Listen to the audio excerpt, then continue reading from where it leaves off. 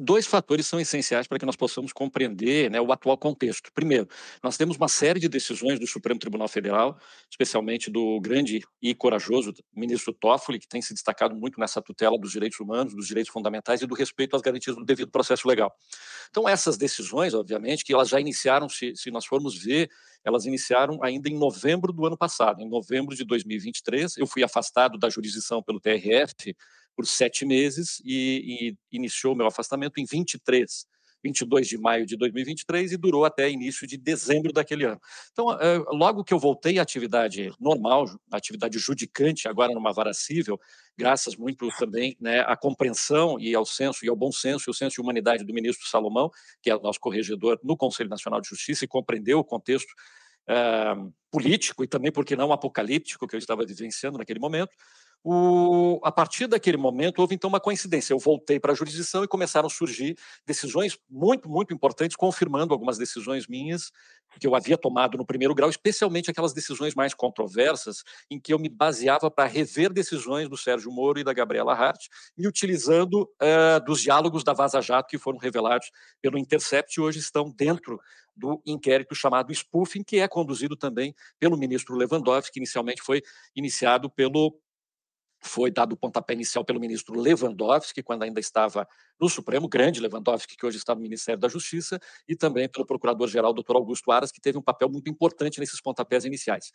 Né? E, então, houve uma coincidência, essa conjugação de fatores. Decisões que estavam vindo do Supremo Tribunal Federal, estavam referendando decisões que eu havia tomado no primeiro grau, e mais, estavam dando amplitude e valia aos diálogos da Vaza Jato, que os procuradores aqui de Curitiba, inclusive Sérgio Moro, sempre negaram, sempre disseram que esses diálogos são uma invenção, uma criação, e até foram objeto de uma certa ironia do ministro Gilmar em plenário do Supremo. E o ministro disse: olha, mas se isso é fruto de ficção, temos que contratar essa pessoa como roteirista e mandar para Hollywood, porque é o melhor roteirista que você tem notícia no mundo, que eram relatos diários, né? O Doutor Dallagnol fazia uma espécie, abria o dia com uma espécie de meu querido diário, e com isso ele registrou né, aquela, aquela rotina de crimes que eles cometeram, diálogos comprometedores em que havia combinação de resultado entre os juízes, Moro, Gabriela Hart e Dallagnol, e que isso acabou, então, culminando com várias decisões muito importantes, que são precedentes importantes dentro do Supremo Tribunal Federal. Hoje, inclusive, a Folha de São Paulo cometeu um pequeno, uh, seguramente de forma involuntária, né, não, não deve estar havendo uma guerra contra o ministro Toffoli, mas cometeram uma impropriedade ao dizer que o ministro Toffoli estaria revendo, então, as decisões, todas as decisões e acordos de leniência e colaboração relacionados à Lava Jato sem a anuência dos outros dez colegas dele. Isso não é verdadeiro, né? é exatamente o oposto. A segunda turma do Tribunal, do Supremo Tribunal, e eu estou aqui hoje como professor, não como juiz, estou em férias no dia de hoje, a segunda turma tem referendado as decisões do ministro Toffoli por três votos a dois. Nós temos o ministro Conká votando com o ministro Toffoli, nós temos o ministro Gilmar votando com o ministro Toffoli. E como ministros vencidos, ministro Faquim e ministro uh, Nunes, né? Então, a questão central é essa. Hoje, a segunda turma, que é a turma que tem competência para essas questões, desde sempre, essa não é uma competência do plenário, segundo o regimento interno do Supremo Tribunal. Quem tem competência hoje está dizendo exatamente isso, que os acordos foram fruto de uma malversação, de um direcionamento, de um desvio de finalidade administrativa praticado pelos procuradores e pelos juízes da, Jato, da Lava Jato que me antecederam. Portanto, aquelas primeiras decisões que eu tomei, especialmente no caso uh, da sentença do Raul Schmidt Júnior, tem recebido o respaldo, nesse caso, de uma maioria de 3 a 2 no Supremo, na segunda turma do Supremo Tribunal Federal. Então, não há uma minoria, não há. O ministro Toffoli, né, muito democraticamente, submeteu ao colegiado com absoluta tranquilidade, iniciou né, o ministro sofrendo uma, um verdadeiro corredor polonês, no caso da, do acordo de colaboração celebrado com Marcelo Odebrecht, o ministro submeteu democraticamente isso aos demais pares, e os, os pares, por maioria, confirmaram, dizendo isso: olha, nós, nós no Supremo não, não, não aceitamos e não podemos endossar práticas ilícitas e criminosas e não podemos aceitar que juízes e promotores combinem o resultado, ou juízes e advogados combinem o resultado de julgamentos em matéria criminal, que são os mais sensíveis, obviamente, que podem, além de, de anular a pessoa, né, levam a pessoa à morte civil, eh, submetem a pessoa, não raro, né, a torturas dentro das cadeias, das penitenciárias, a pessoa fica privada da liberdade. Então, ninguém está discutindo, endossando corrupção, enfim. Mas aí eu repriso as palavras do próprio ministro Toffoli: não vamos usar a corrupção judicial para combater a corrupção. Se nós fizermos isso, e aí diz o ministro na decisão da última sexta-feira, praticamente uma semana atrás, alguns dias atrás, nós vamos estar colocando no mesmo status, na mesma condição, os réus acusados e os juízes e promotores. Então, o Estado não pode se render ao banditismo.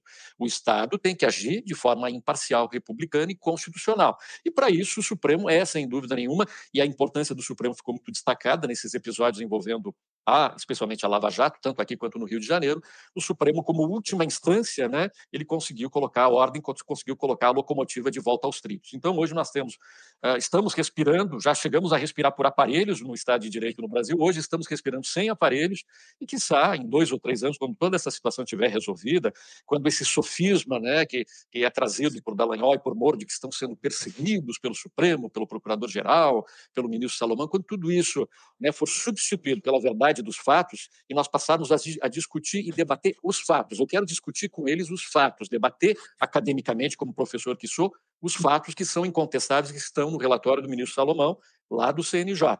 Não quero discutir as pessoas. Eu não vou dizer, eu não gosto do corte de cabelo do, do Sérgio Moro, eu não gosto dos óculos do Dallagnol. Não se trata de discutir as pessoas. Nós temos que discutir os fatos. Não vamos discutir o sofá, vamos discutir o adultério. E os fatos são incontestáveis. Houve um desvio para uma fundação privada de 2,5 bilhões de reais que eram destinados à União por lei e pelas normativas do CNJ.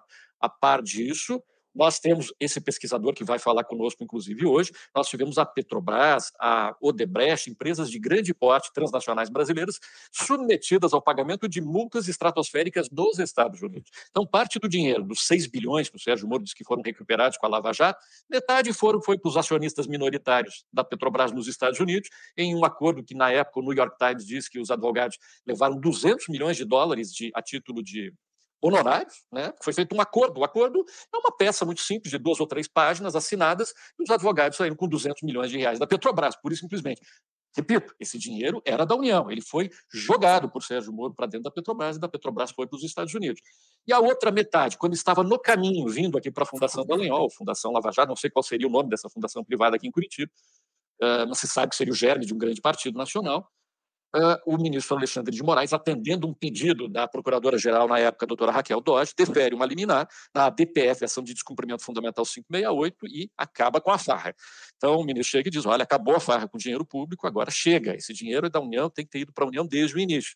Ainda assim, pasmem aqueles que me ouvem, ainda assim, um ano depois, ou cerca de um ano depois, a juíza substituta lá da vara, a doutora Gabriela Hart, vem a público e diz o seguinte: vamos destinar 500 milhões de reais desse dinheiro aqui da vara para combate à Covid. E ela diz, vamos, quando fala vamos, diz a, a Lava Jato. Então, assim, se isso não é uma atividade política, eu tenho dificuldade em imaginar o que seja. Eu sempre fui, desde 2004, quando apresentei minha tese de doutorado, insisto nessa tecla: despolitização do judiciário.